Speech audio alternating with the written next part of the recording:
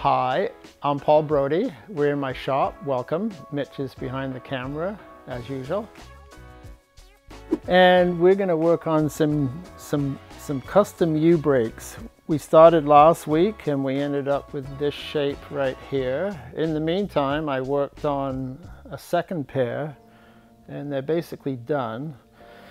And I finished my fork yesterday for my Romax and I tried the brake on and because the bar spacing is not quite the same, it doesn't work. So these really are a custom pair. They're only going to work on my bike and I won't be able to swap back and forth. So this U-brake is on the back and I spent quite a bit of time, well, not that much, but some time figuring out where the pad should go before I drilled the hole. And even though I was very careful to make the pad work, because there is a geometry. You see how there's an arc and and the more that the that the the arm goes into the rim, you can see how the pad is raising up. So to make this work, I got to have it at the top of the slot, even though I was very careful. Now let's go over to my fork and I'll show you what's going on there. So here's the fork and I didn't, I tried to get the spacing uh, the same as on, on, my, on my frame because then I just make the exact same brake. But that didn't actually happen. It's a little closer. It's four mil closer and four mil apparently makes a lot of difference. What happened is I got 27.5 rims and you can see how where the boss mounts it's on it's at the start of the curve where where the blade is starting to curve for the unicrown. So that's why it ended up a little closer. So this this mark is where the hole was drilled on the other on the other boss. And what I did here I took a piece of wood because it's too hard to put this in with the bolt there.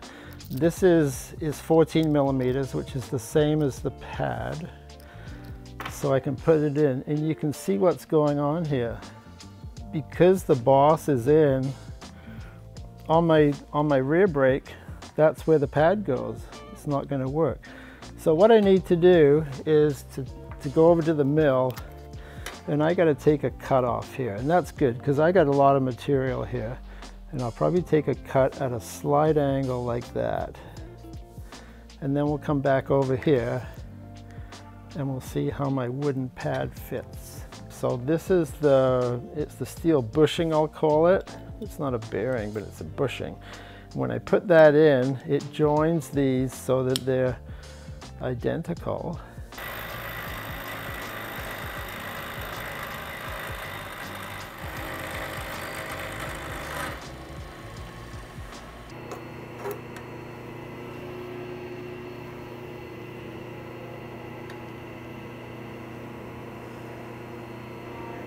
Okay, so that's a lot better like like that because because now the uh, uh, geometry looks a lot better. There's I've got more room in here, and the line here is is basically it it's perpendicular to the axle. So that's going to work. So I'm going to make some marks because what we'll do now is to drill the hole, the hole for the pad. So it's not quite at a right angle, but that's okay. Because now we know where the middle is. So that's where I'm going to drill my hole right there. And it's going to be in the middle. Okay, so there goes the center hole.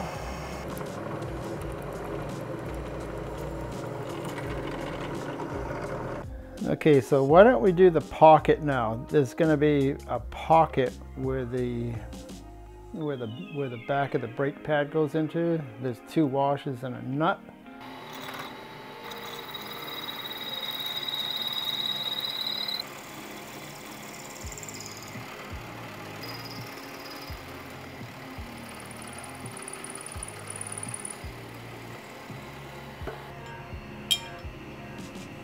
That's our two pockets.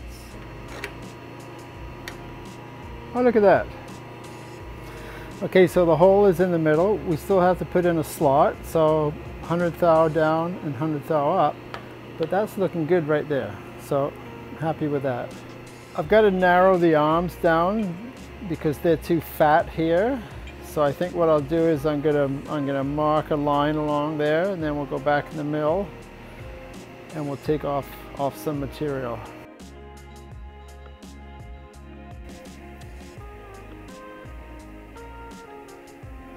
I just want a nice curve in there. I don't want to mill the steel, so I'm going to raise up the cutter a few thou. And then that edge gets milled off anyway because it gets narrower.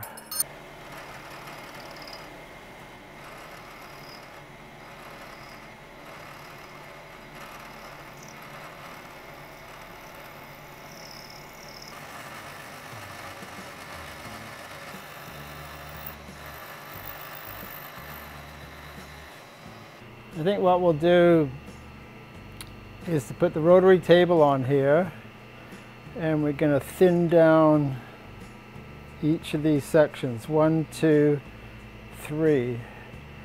And these two are a, a, little deeper than what happens here. I'll show you. I've got to match that radius there because that is that radius there is the size that I want so uh, I've got a ball end mill that's going to come around it's going to match up to that right there, that radius.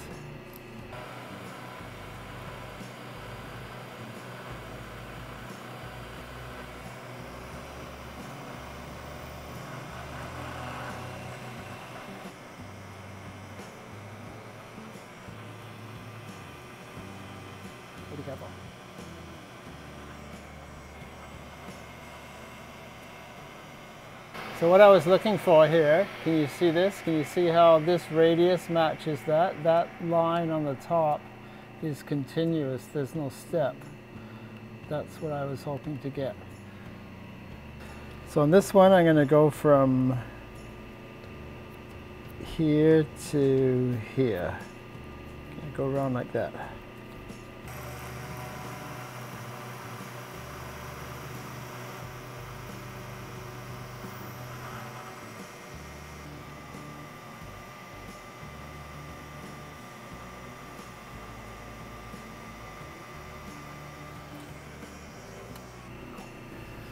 So that's what it looks like. We've milled around the boss here. We've got a nice circle.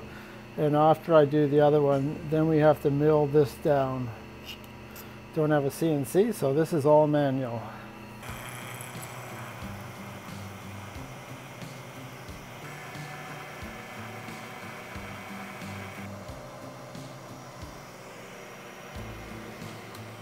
Just got a half inch end mill hill here, nothing fancy. We're going to mill this surface here down to that level.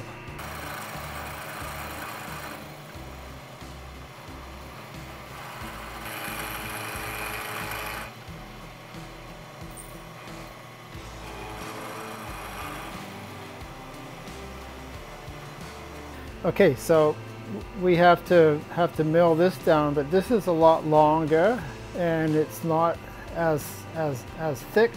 So it's probably going to vibrate. So I'm going to put a little, sort of like a little jack under here. I'll show you that. This is what I have. All it is is a, a piece of ready rod, a nut got welded on. I found this in my box, so it's, it's not like I just made it. And it happens to fit perfectly. So it goes under like that and it supports it. I just use my hands it puts a little bit of pressure on there and so that's not going to vibrate. Put some oil on there. That's cutting oil, it's not lubricating oil.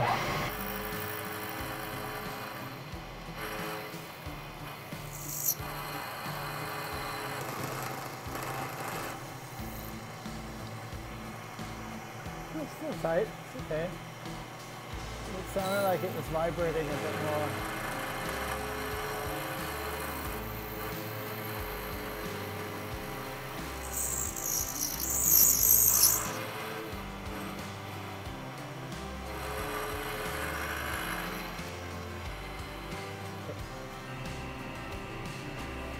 What a good fit. So see those, see these marks here? I'm going to show you how to take out those marks, make it all smooth. I've got the arm mounted up on a, a piece of steel. I've got my high-speed grinder. I've got a spiral roll. This one's worn and that's what I want because I'm going to use the very nose of it and I'll show you how I, I blend that in. I could do it by hand, but this is just, if I'm careful, this is easier and faster. So let's have a go.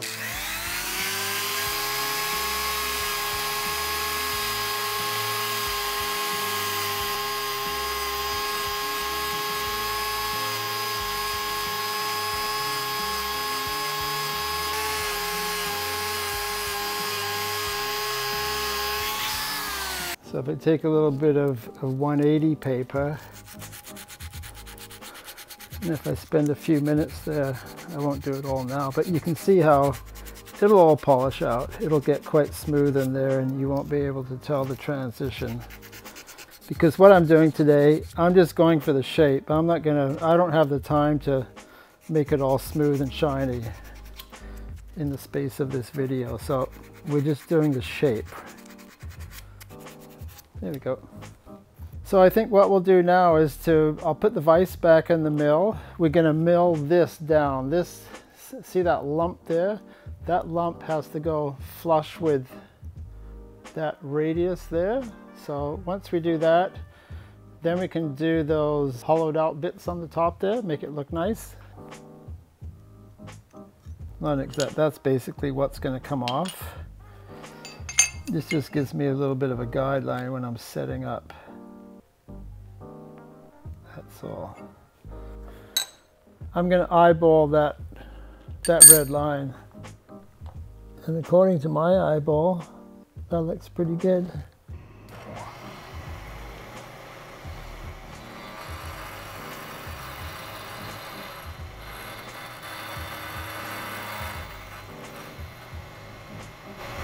There you go. And you can see it's, it's at the same height basically. I'm going to file a small radius right here where these two meet. I don't want it to be sharp. And then we'll mark out where the pockets go. Got a small file.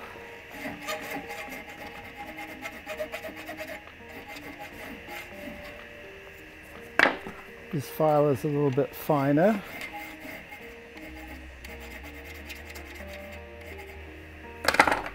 And then a little bit of used emery cloth.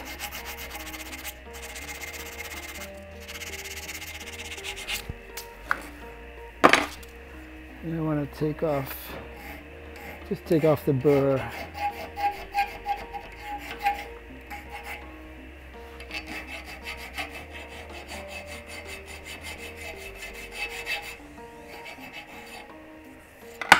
So I keep it on the flat raise it up very slightly.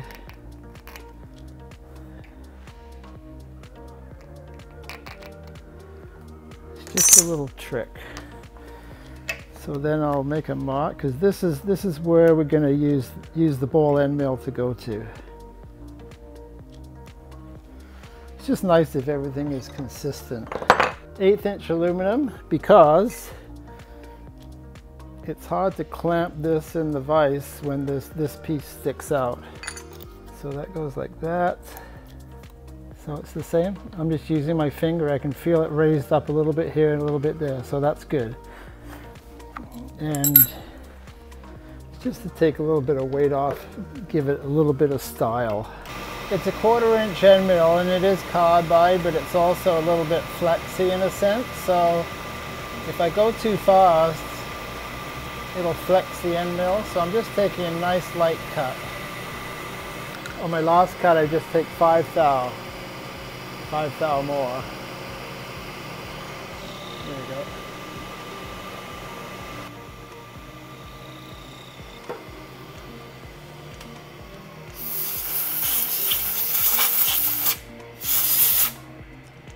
I like ball end mills. They can do a really nice job sometimes.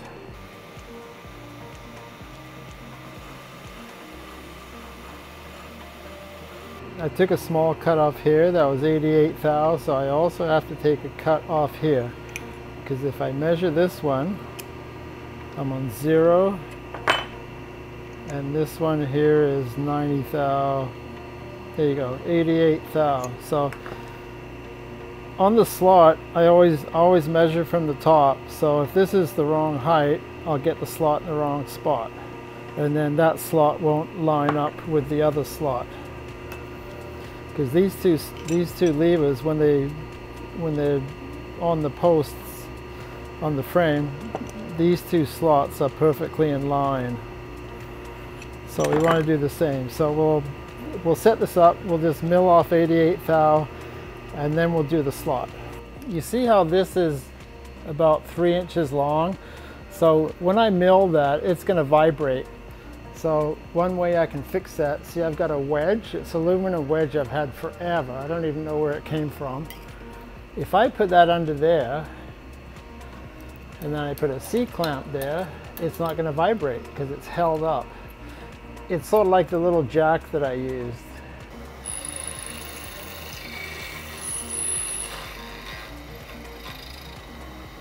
where the slot starts is a little bit over center. So that's where the slot is going to come from, right, right there.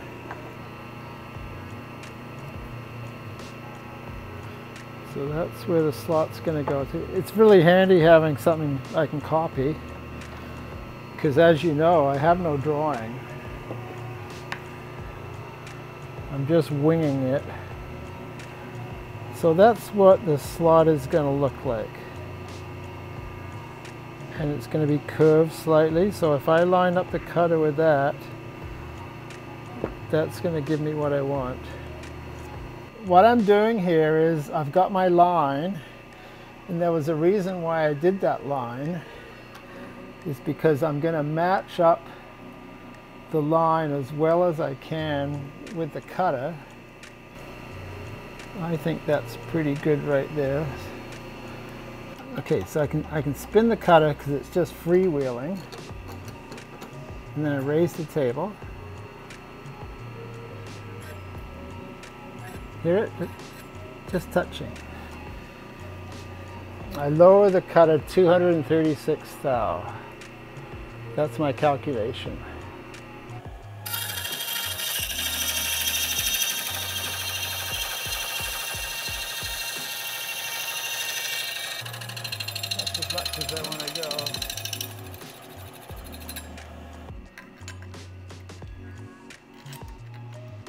So how I get the 236, if you're wondering, half the thickness of the piece and half the thickness of the cutter. I add them up and that's how much I raise the table or lower the cutter.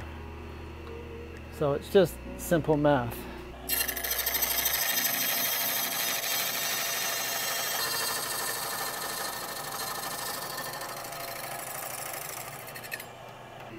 So the slot slot comes up to the up to where the ball end mill ended and looks like it's in the middle, so we're good.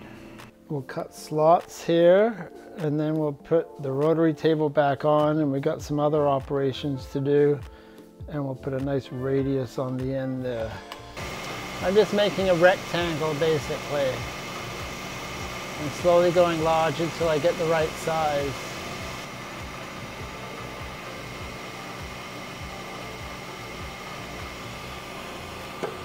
It should go in and slide back and forth.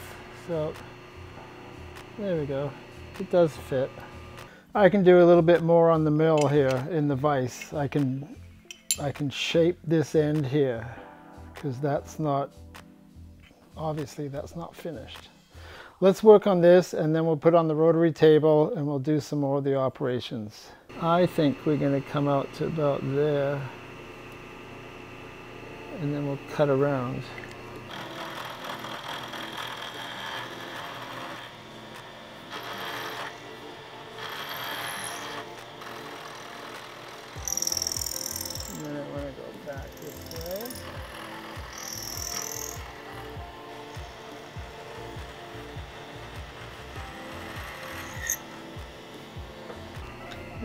Yeah, that turned out smooth.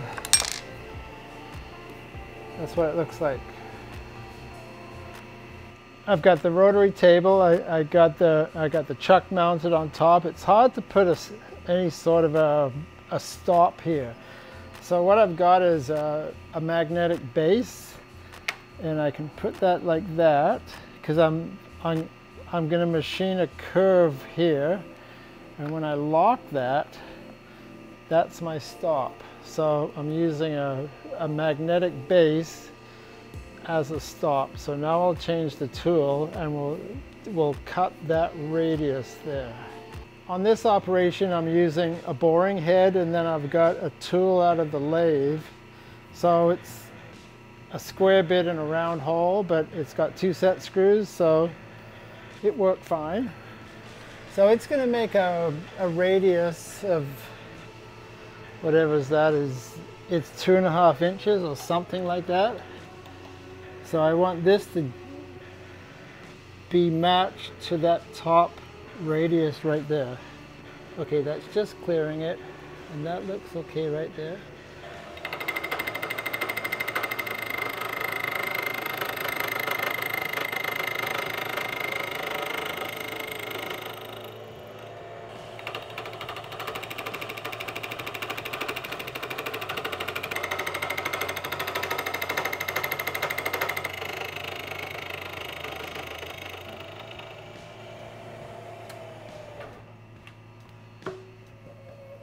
I stop the cutter and then I, I lift it up because if I just raise it up, it's going to make marks like a spiral going up the cut. So then I got to do extra sanding. So that's why I stop the cutter like that fast. I think what we'll do next is to, is to mill the radius on the end.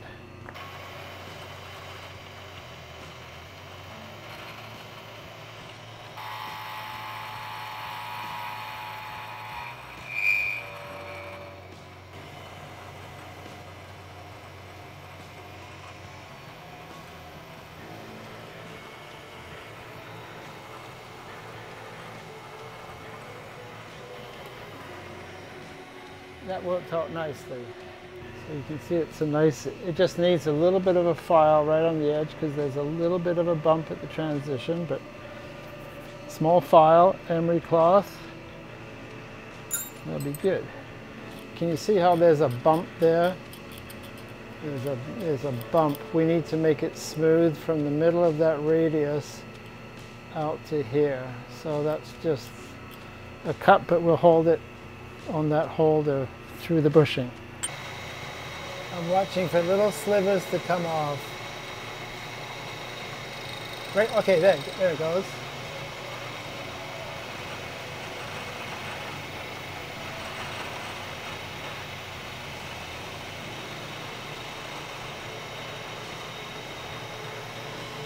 Okay, so there's my line. It's a little a little bit off, but that's a that's a nice transition there. I, I don't if I run my finger over there, I can't feel any lump or bump. So that's nice. So we'll do the other one, then we'll move on to the onto the pocket. So the pocket will begin right there, and then we'll come up about an eighth of an inch right there. So we have to center drill. I got a 5 16 center drill. Then we're going to drill 5 16 down to the right depth, about eighth of an inch. And then we'll use an end mill and we'll do a little, little pocket, sort of like how we did here, except it's a smaller end mill. Like that, and then it'll come down something like that, and something like that. It's just to save a bit of weight, add a little bit of style.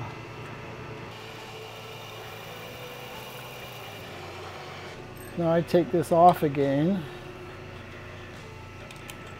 I'm setting the depth now. This is the height of the underneath of the U-brake arm. So that's my zero. And now I go up, I'll go up 145 thou right there. So that's my zero.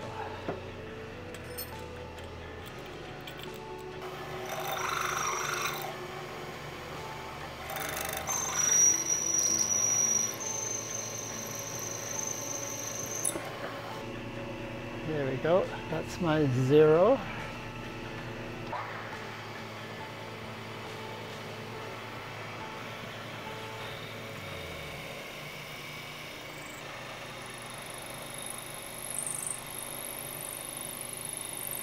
I'm just watching the digital readout because because I can't see what's going on underneath all those chips.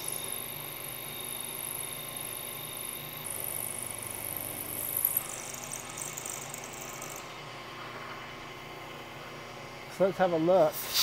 Okay. So now you can see underneath. So I'll, I'll put I'll add some oil.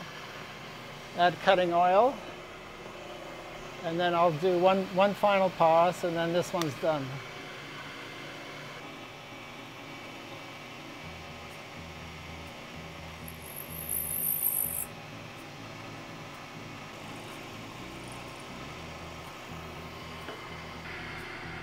It looks like a pocket to me.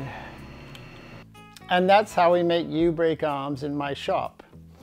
I've been watching a lot of YouTube videos lately and I've seen some really excellent craftsmanship and then I've also ventured in, into the dark world of huge angle grinders, massive sparks and stick welding. It's quite the contrast. One thing that really stands out though is that in most of these videos nobody's talking, nobody is explaining the process of making something. I think that's important. So if you like what we do here in my shop, you could support us. You could buy us coffee. Mitch and I both like really good coffee. And if you look below, there's a link. If you click on see more, you'll find the coffee link. Thank you very much. Have a great week. Stay safe.